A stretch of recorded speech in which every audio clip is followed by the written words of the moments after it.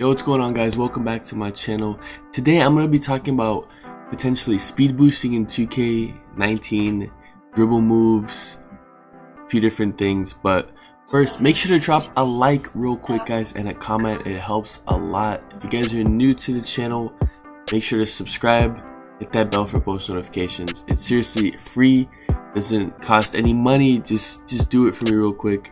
And yeah, and go follow me on Twitch, guys, right up here on the screen before we get into it. I stream every single day. Go follow me on Twitch, guys. Link to the Twitch will also be in the description. Gino plays games right there on the screen. Okay, anyways, so I'm on Mike Wang's Twitter right now, guys. If you guys don't know, Mike Wang is the gameplay director for NBA 2K, and a lot of people been asking me like are you making this archetype? Are you making that archetype? Are you gonna do this? Or is there dribbling? Is there this you know what i mean? Like there's just so many questions bro. And i honestly bro when people ask me those kind of questions i just tell them i don't know. Once we get some information then i'll be able to make either a prediction an educated guess or I'll be able to tell you, hey, look, this is actually out and released. But until there is something released officially, it's hard for me to tell you guys something because then it's, it's just gonna be like, oh my god, Gino told me this, and then it's not even in the game. He lied to me, or he doesn't even know what he's talking about. And I'm not about that. I'm not about that unless I know for sure or have a strong guess. So this is why today I'm back here today. I saw this tweet by Mike Wang, right? A lot of them, a lot of people have been asking me. A lot of people have been asking me, guys, is there speed boosting in 2K19? Can you dribble the same as 2K18, uh, etc.? And when I saw this tweet, so I saw this tweet by Mike Wang. Someone asked him how many dribble tiers are there, and he said there's three tiers based on ball control. Tier one is uh, 70 or less than 70 ball control. Tier two is 70 to 85 ball control, and tier three is 86 plus ball control. So there's no official release of information. There's no leak or anything. Like I don't know for sure but if I had to make an educated guess for you guys, first of all, there is speed boosting. We already know that, but I'm just gonna tell you guys, for those people who don't know, 86 plus ball control will be able to speed boost again. They didn't say it anywhere, but that's just my educated guess because that's how it's always been for as long as I can remember. 86 ball control and above, and you can speed boost.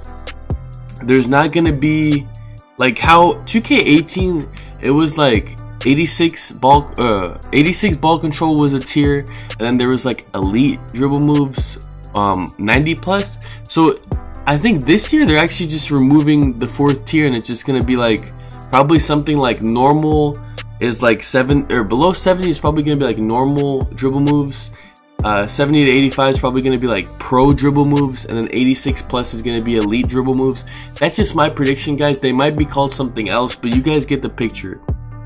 The elite dribble moves, 86 plus will be able to speed boost. That's what I'm telling you guys. There's, look, I feel comfortable saying that there's no way that that's not how it is. That's my educated guess and that's how it's gonna be. I don't know like what builds can speed boost yet or what what's the height or minimum, you know what I mean? Like maximum height, maximum weight that you can speed boost at. But I'm telling you guys, once I find out that information, I will tell you guys, I will let you guys know. But this is just something that I came across and I'm like, dude, I get so many questions when I'm streaming every single day, bro. Every single day when I'm streaming, I get these questions on my videos in the comment section I get these questions. I was like, why not answer bro? I'm just gonna make a quick video, tell you guys what I discovered. A tweet. This was uh so right now is July 28th. This was July 25th. So I'm, so I'm telling you guys, speed boosting 86 plus ball control. So once we get more info, I'll be able to tell you guys all the builds that can speed boost and stuff. But that's honestly the main thing I wanted to talk about. There's some more. There's some more things. Um, like let me see. Someone said, I honestly hope Mike Wang gets rid of the L2 dribbling nonsense for real. I feel like it's a handicap.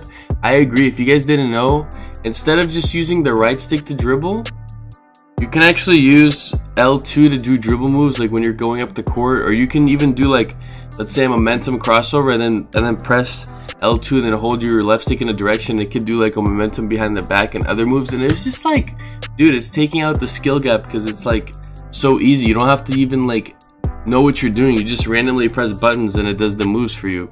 So Mike Wang said L2 dribbling is gone. It's used for hard stops and hezzies in 19. And I think that's exciting as hell.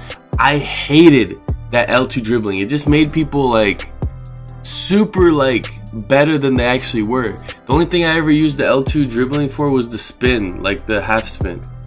And that is like super easy to do it with the right stick anyways. So I think this is exciting news. This is good news. I think 2K19 is going in a good direction, guys. And let's see anything else that I want to touch upon. Uh, let's see. There's another question someone had. Is there no more right stick left down, right down for behind the or for between the leg cross? Is there any assignment to those left, right, and down dribble or direction dribbling? Are they left out as commands and dribbling also different layups?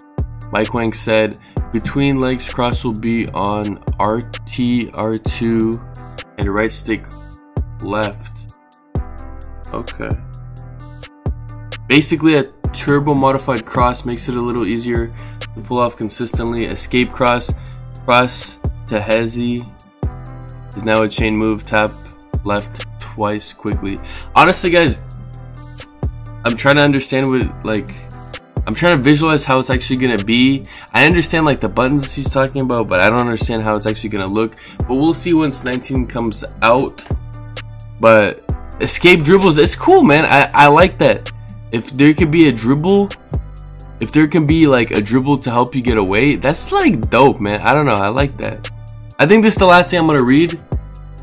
Mike Wang tweeted out um, four days ago 24th of July. Said random 2K19 info. If you have a trailing defender, holding LT will trigger a hold off, which is like a Chris Paul like dribble that will allow you to seal the defender behind you for a bit.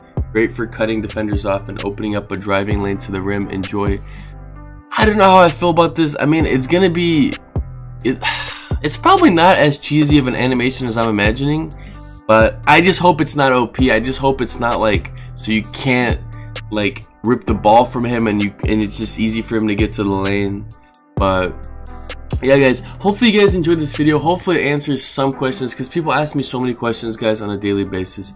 Hopefully this guys hopefully guys this answers your questions man. I love you guys so much for real. I'm so excited for 2k19 coming out. Prelude in one month. Games coming out in five weeks for real, love you guys so much. Drop a like, drop a comment, sub up to the channel, notice on. I will see you guys in the next video. Much love from your boy Gino. I'm out. Peace.